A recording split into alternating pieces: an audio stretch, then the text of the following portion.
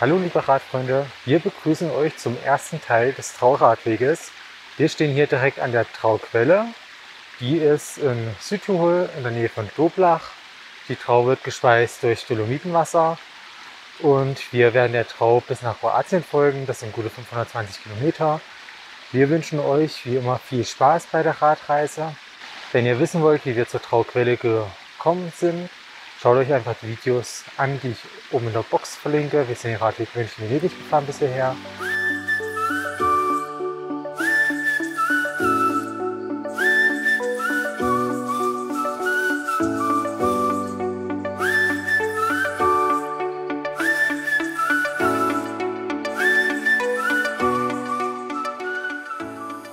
Nach 20 Kilometern entlang des Trauradweges sind wir jetzt in Österreich wieder angekommen.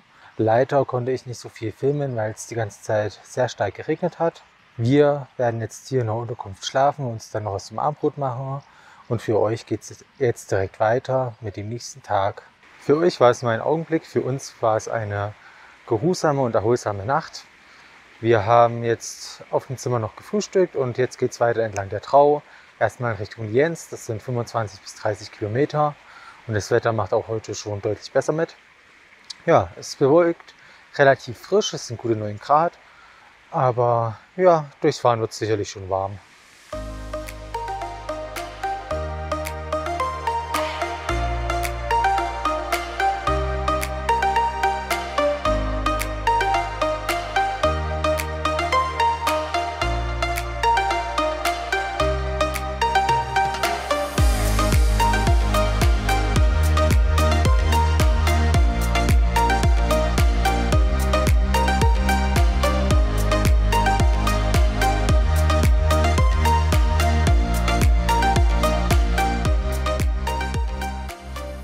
Bis hierhin ein wirklich toller Radweg. Wir rollen hier die ganze Zeit mit 20 bis 30 km/h runter. Ja, und es ist auch alles asphaltiert, also von daher top Radweg und auch die Ausstellung ist perfekt vorhanden. Ne?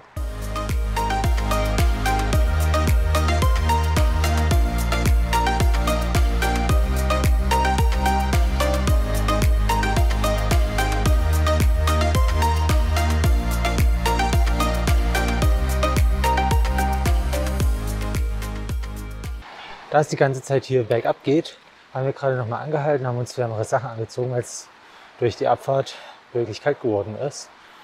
Ja, jetzt so warm eingepackt, kann es weitergehen. Endlich scheint auch die Sonne ein bisschen, dass es wieder wärmer wird. Gefühlt sind wir gerade komplett zum Eiszapfen geworden. Ne? Die Beine total kalt und schwer deswegen. Ne? Aber jetzt durch die Sonne wird schon wieder deutlich besser.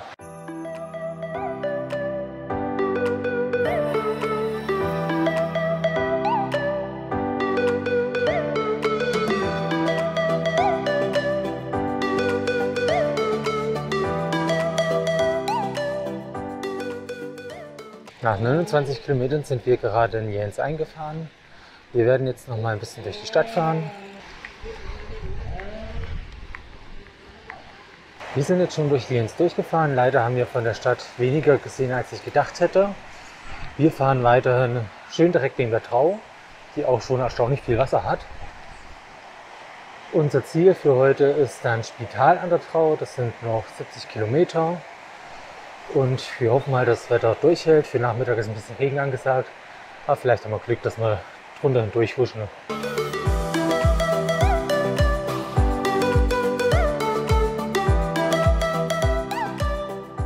Wir verlassen jetzt das Bundesland Tirol und ab jetzt geht es weiter durch Kärnten.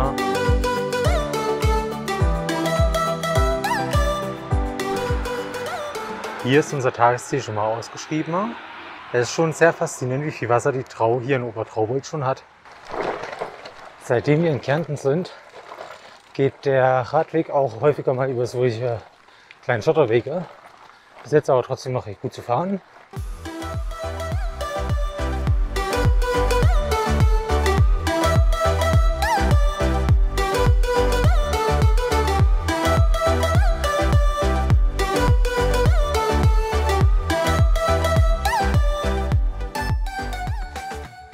Wir haben gerade schon Mittagspause gemacht. Wir hatten äh, belegte Brötchen und einen Apfel dazu.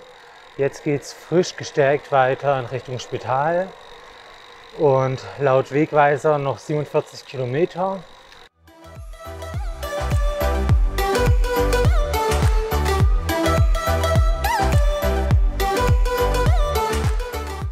Wir haben jetzt noch 25 Kilometer bis wir ins Spital sind.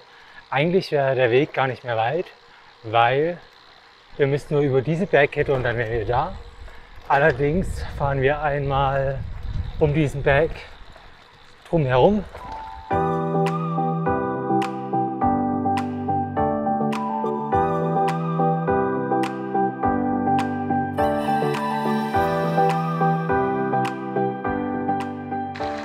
Wir haben die Bergumfahrung jetzt schon fast geschafft und haben jetzt noch 10 Kilometer vor uns.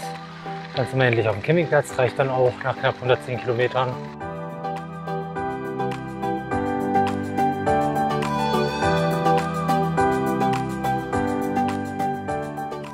Wir sind nach 110 Kilometern in Spital an der Trau angekommen. Die letzten 10 Kilometer habe ich eher weniger gefilmt, weil hinter uns eine Regenfront angezogen kam und wir geschaut haben, dass wir vor der Regenfront wegkommen und wir haben es tatsächlich geschafft. Wir sind trocken auf dem Campingplatz angekommen, konnten das Zelt noch aufbauen und dann hat es angefangen zu regnen. Anschließend haben wir uns erstmal ein bisschen untergestellt, waren einkaufen. Jetzt haben wir was gegessen und jetzt machen wir uns Bett fertig. Das Highlight des Tages.